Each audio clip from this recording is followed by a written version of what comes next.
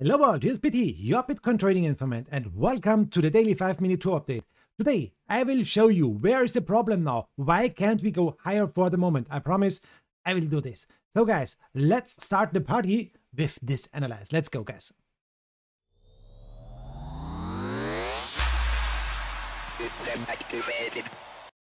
And here we are. We are starting with CoinMarketCap. What's going on with Bitcoin? Bitcoin is already on 40 54,000, the same thing like yesterday. We are in the plus a little bit, 0.6% on 24 hours, but on 7 days we are in a nice plus on 14%, really, really nice. Watch Ethereum. Ethereum is going um, to the upside a little bit, 0.7% and 11% in the plus in the week. And ADA Cardano is going down. What's going on? 1.6% and in the week 1.38%. But the most coins are going up a little bit. In 24 hours, the biggest winner is Harmony One, 34% in the plus. Nice. Fantom, place number two, 19% in the plus, and Shiba Inu is going up. Place number three today with 16%. Look at the seven days, it's amazing, guys. 269% Shiba Inu is going up. Uh, I have some Shiba, okay, I'm holding some Shiba for fun, just for fun, but I'm in a nice plus with Shiba, and I hope that there will come not only a meme coin with Shiba, I hope there will be some really, really good reason to buy Shiba and not only for fun. Okay, guys, let's check the next thing. What is going on here on CoinMarketCap? Let me show you. Um, sorry, where it is. Here, ah, here it is. Ah, the dominance. The dominance for Bitcoin is growing with 44%. And, um, no, sorry, what's going on here? Okay, no, guys, sorry. 24 hours. The biggest looter, 4.4% Revain. The second place, Binance Coin, 4%, 3.8%. And you can see, guys, we have only a few coins that are going down and a lot of coins are going up, so it's not so important. But guys, look at the seven days. Look at Shiba in the seven days, 270%. Place number one. Fantom is also growing 61.4%. And Harmony One is growing with 44.7%. So really, really nice. And what is the biggest loser? And it's not so extreme, guys. Avalanche is going down 10%, eCash 9.3%. And you can see the most coins are going down, uh, going up, yes, but some coins are going down, and this is not so a big problem. Here now, the Bitcoin dominance 44.3%, and Ethereum is going up. Uh, the dominance for Ethereum is uh, 18.5%. So here is TradingView on the daily. On the daily, we should buy. On the four hour, we should buy. On the two hour, we should buy. And on the one hour, we are neutral. Okay, we are going down a little bit now, uh, taking deep breaths for the next big move. But okay, on the one hour, we are neutral. All the moving averages are telling us buy, but everything is telling us we should buy. So, guys, here is the daily. The daily time frame, every candle is one day. And you saw here, or you see here, the big downtrend, a little uptrend. We broke this downtrend. Nice. And now we have some problems. The first thing is we have the bearish harami here. This was yesterday. The candle closed yesterday as a bearish harami. And this is for the most times a bad sign. For the most times, not always.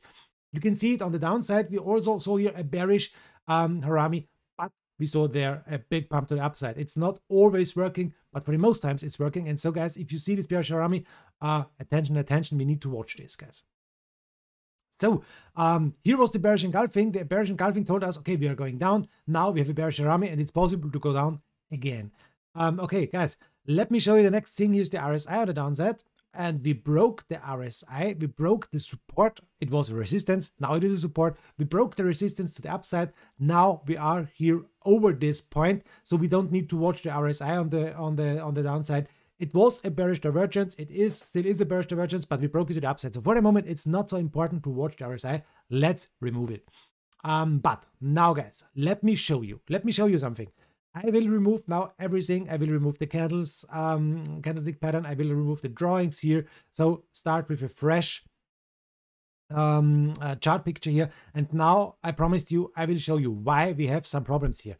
A parallel channel here from the lowest point over this point here to the upside, from this here lowest point to the upside to the highest point. So guys, if you're watching this, you can see where is the big problem now. The big problem is the middle line of our parallel channel. You can see this blue line here and we are fighting with this line since three days and we can't see a confirmed closing candle for the moment over this middle line. So this is very important now guys. This is really important. We are, for the moment, fighting with this blue middle line. And this is the reason why we can't see more pump for the moment because we have here a really, really big resistance. The resistance is about 55,500, uh, 600, depends always um, where we will hit this line or where we will draw this channel. But you can see this is now a big thing. And guys, watch this. For the moment, we have a big wick to the upside. A big wick to the upside is for the most times a really bad sign. I told you this since long times. Watch on the big wicks to the downside. We are bullish. This is a bullish sign. Watch the big wicks to the upside. It's for the most times a bearish sign, guys. Please remember, please keep this in your mind, guys. So this was the big thing with the middle line. This was the big thing with this um, uh, candle we are buying for the moment. We have six hours to close these candles. Okay, that's uh, some time, but we need to close this candle in the in the near of the middle line and not so much under the middle line. So let me show you the next thing, guys. This was the last lowest low. Okay, guys, please don't give me a thumbs up. I don't speak about um, this price, 39,500. I don't tell you we are going down to 39,500. But this was uh, the last low, the last big the last lowest low, guys. And we need to stay over this support. This is so important. We need to stay over this green line. We need to stay over 39,500. This is very important. So uh, let's check the next thing. And what's going on with this orange line, BT? let this orange line be an orange line, okay? It is at 20,000. I have a reason why it is at 20,000. It is a big, big, big, big thing for me. I think it's it's possible to see 20,000 again, guys. Please don't give me a thumb to the downside for this, but it's really possible to see this again. Maybe not today, maybe not tomorrow, but maybe in the near future. So let me use this orange line as a big support. So now we are in the four hour time frame. Four hour time frame, we are over the ribbon band, we are over the EMA 200, and you can see here we had the long position. EMA 200 is a price about 46,500, okay? And this thing is now our problem, the middle line, and the fight with 55,500. And you can see it. We had here two spikes to the upside, two spikes, two tries here to fight the middle line, but we can't fight the middle line for the moment. And now we are going down again a little bit. So guys, now, this is really important. This green line is a support line. We are building higher lows for the moment on the 4-hour time frame. But guys, if we will build here on this point a lower low, it's possible to go down really quick. So remember this, guys. I think a lot of guys are waiting for uh, for taking profit here, and I think they are waiting for the moment for lower lows.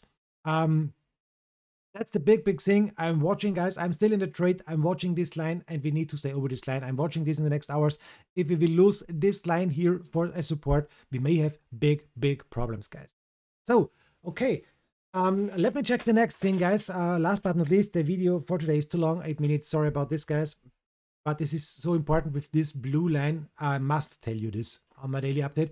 Um, the next thing, guys, 47,000 EMA 200. I told you 39,000 here, this lowest point. We don't speak about this. Okay. Um, now let me check the next thing. Uh, let me check. Um, uh, sorry, moment, just a moment. Yes, the Fibonacci retracement. This is one of the important thing also for the moment. Fibonacci retracement, highest point 64,000, lowest point 28,000. And you can see we are fighting with these Fibonacci lines. Bitcoin is uh, acting on this uh, so much. You can see it. Here we saw a reaction. Here we saw a re reaction. Perfect hit. Perfect hit. Here the fight. Here the fight. Here the fight. Retest the perfect hit. So the Fibonacci retracement is so, so, so important. And you can see it now. Um, we are here. We saw a big fight here. And now, guys, the next Fibonacci line is 0.786. This is at 57,150, 60 about this. This is the next Fibonacci line or 57,000 or 57,200, doesn't matter. This is the next big thing. If we can climb over the middle line, this would be awesome. We need a confirmed closing candle over the middle line.